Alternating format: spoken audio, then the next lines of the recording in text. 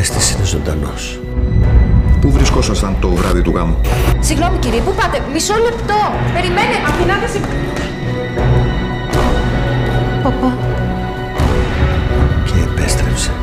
Όποιος και αν είναι ο λόγος, έκανες μεγάλο λάθος που γύρισες στο Ορέστη. Η επιστροφή. Απόψε στις 9 παρατέταρτο και καθημερινά στον Αντένα.